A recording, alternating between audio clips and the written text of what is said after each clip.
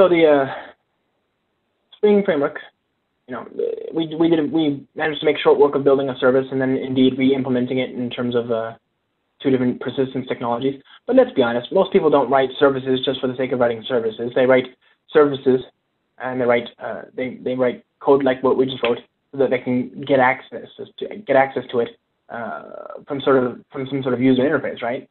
After all, if you had to go to an ATM and then manipulate a Java API just to take out money, you'd never ever use it, right? You need an interface. So most people build uh, web applications to meet this requirement today. Most people are using uh, some sort of framework to build that and to expedite that. The Servlet API is the standard API for interfacing with web servers, and it provides a clean way to to it provides a way to manipulate and, and write code in terms of the HTTP you know API and all that.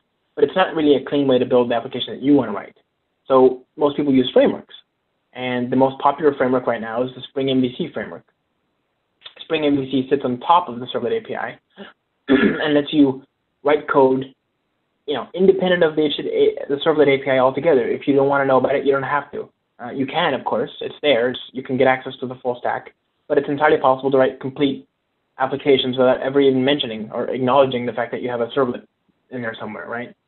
Um, and it's also very easy to get started with, right? You just configure it in your web application, and and then you turn it on. So you might use MVC colon annotation driven to turn it on.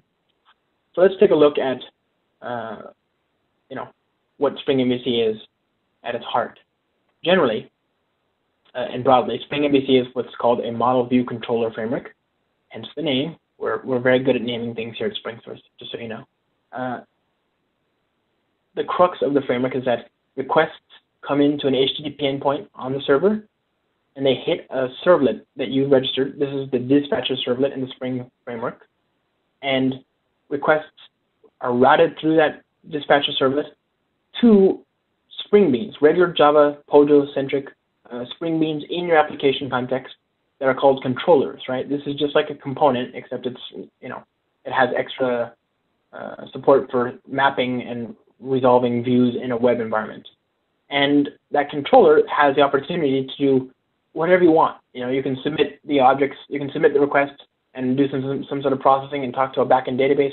You can talk to another service, which is what we're going to do here. You can, anything you want to do, you can do in this controller class. This is your business logic in the web tier. And then usually the controller forwards any sort of context data, any sort of model data as a result of the operations in the controller back to the front controller, which then forwards that onto a view template, right, or to some sort of viewing mechanism, view, view, view rendering mechanism. You can be anything you want. It can be JSP, it could be velocity, it could be FreeMarker. It doesn't matter. In fact, it could be uh, XML-based payloads and this is of course uh, you know a natural segue into the great support for, the, for REST in the Spring MVC framework.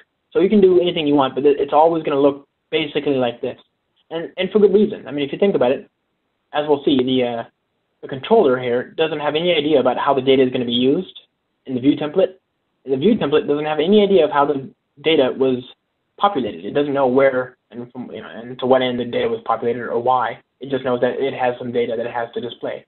This decoupling of concerns is uh, very valuable. It makes your code more flexible and uh, more maintainable. So let's build a let's use our service. Let's let's use our the recently built service and actually uh, talk to our customer service from a web application.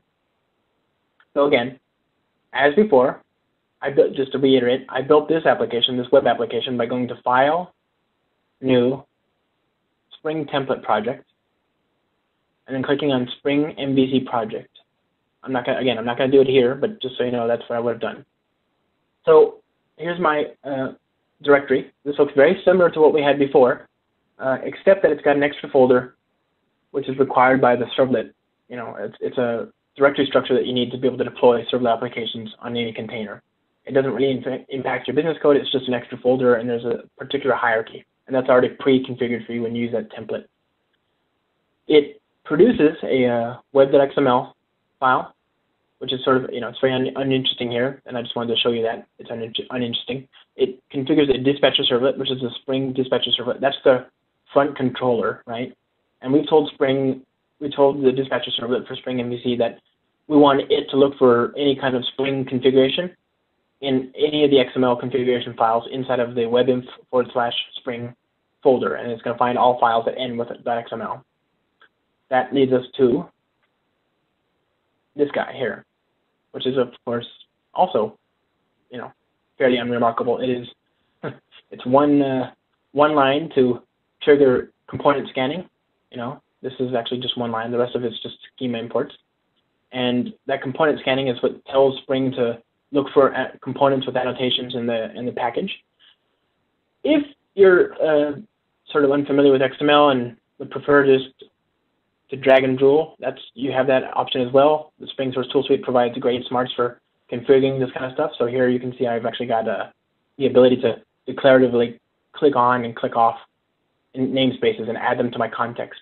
Once I have a namespace enabled, I can then do auto completion just like anything else, right? And that's it knows about the Spring Framework uh, support and knows about the different APIs and so on. So one one one uh, one more line down is the actual MVC colon annotation driven. This is what actually tells Spring to also look for controller objects in these packages, not just regular components, but also uh, web tier components, right? Components that are based on Spring MVC.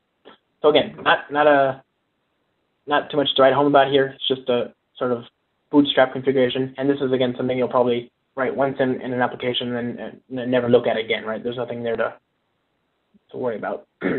so the effect of what we just saw was that it's going to scan our Java packages and load the objects. And of course, we want it to load our business logic for servicing the web user interface, right? And in Spring MVC, to do that, to handle that, you build controllers. A controller uh, is a Spring object, just like any other object that we've seen, and it benefits from all the services and all the you know goodies that we've already established. So you can see right off the bat, the first thing I'm doing is I'm injecting a reference to our JPA-based customer service, and I'm using at AutoWire to get access to that. So I'm, you know, I'm already, you know, ahead of the game. I don't have to worry about how to get that reference. I can just inject it. I'm making the library itself available to this web application by using the Maven uh, project configuration. And when Maven and the Spring Source Tool Suite sees that I've got a reference to the JPA service, in my web application, it automatically provides a reference to the source code, the you know the sister project, so I can actually you know get the latest version of that code. If I make any changes over here, you'll see it here. Um, anyway, back to this controller. The controller here uh, has a reference to the injected customer service, and it has a controller annotation. This is exactly like at component.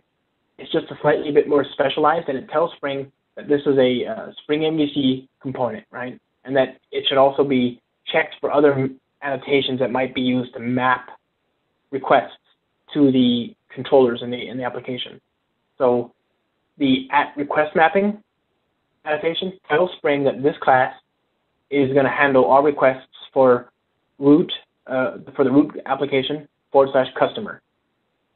It'll then scan the method in the class itself and look for more specific mapping. So for example, say we want to handle both forward slash customer as well as only methods that have the HTTP verb get. We can we can do that. Can, we can configure that here. You don't need to do it this way. You could have, you indeed you could have a request mapping on the method itself, or you could have it you know split apart like this as, as well. This configuration implies that you might have different methods for different types of verbs, all for customer or you know any number of combinations thereof, all in the same class. I'm just doing one method, one you know, handler here, just because that's the only use case I've got. You can see that the method itself is uh, very simple, and indeed the whole class is very simple. There's no servlet code here at all. This is just a Java POJO, and we've annotated it to tell Spring the extra information it needs to know to be able to map this object to an HTTP URL endpoint. So when somebody invokes our web application and hits forward slash customer, they're going to hit this method with an HTTP GET request, which is the kind of request you make when you just enter the browser. And Spring is going to look for a request attribute, a request, request parameter named ID. And you can tell it that I want that ID to be passed into my method invocation as a parameter, and I want it to be of type long, right? So I don't need to worry about converting it or anything like that. It just works, and if there's an exception, if there's any trouble, you'll get a validation error, which you can handle and display back to the user. And then from there, I make short work of the actual processing, right? All I want to do is get access to my customer data. So I pass in the ID, get a customer object, and use that to fuel uh, a model, which in, the, in this case is just a map, a key value association pair. The customer key will be used to drive the generation of the view, which in this case is a template. Spring, the Spring MVC framework will look up that view by convention. It'll look up the method name, and then it'll follow some sort of configured heuristic to actually resolve that to a view template. Uh, in this case, I've overridden the heuristic that it's using to look up the view template by configuring an alternative. You don't have to do this, but I'm just showing you that the entire stack is completely pluggable and tailorable. The defaults are great, and indeed, you've already seen how simple this code is. There's no, there's two classes, and one of them is optional. so uh, let's look at the configuration now. This is a again Java-based configuration, and it's picked up automatically when the uh, when the uh, application is started. You don't need it. You know, I'm only doing this to show you how you can tailor certain parts of it. In particular, I want to tailor how Spring MVC resolves my templates. So I wanted to take the view name, which it gets by the method, which so the view name here is customer. I wanted to take the view name and then prefix it with webinf forward slash views, and then suffix it with .jsp. So the view template path will be webinf forward slash views forward slash customer dot .jsp we when this bean gets registered with the context, Spring Spring MVC picks it up and automatically registers that as the override, right? So let's actually look at our view template, which is lives over here, exactly where we configured it to be.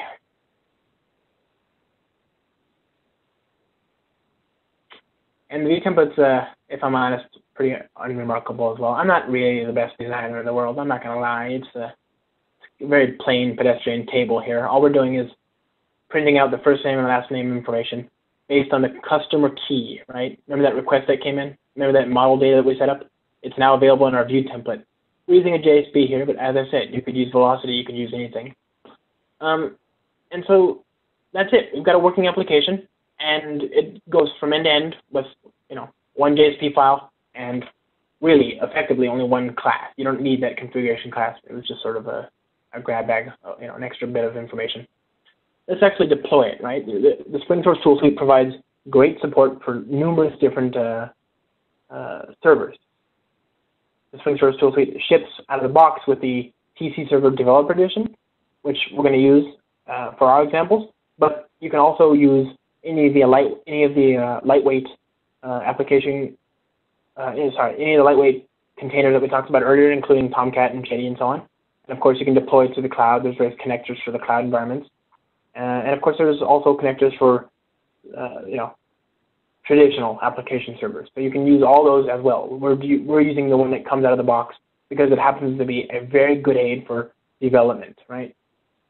I've already got it running, so I'm not going to deploy it, but if you wanted to deploy it, you could just click on this and then drag it onto the container, to the server here, and then hit start. I've got it running in the background here. You know, already preloaded. So you can see it's hitting our this is a URL. It's hitting our web application, Spring Service Web, hitting our endpoint, which is customer, and then the ID is the parameter that we are passing in, right? This is hitting a data source that I've got running in the background, which is this database. Again, two rows, not very interesting, one and two. So right now we're looking at John Appleseed, row number one. Change that, row number two, right? Very, very uh, pedestrian, but you get you understand the idea.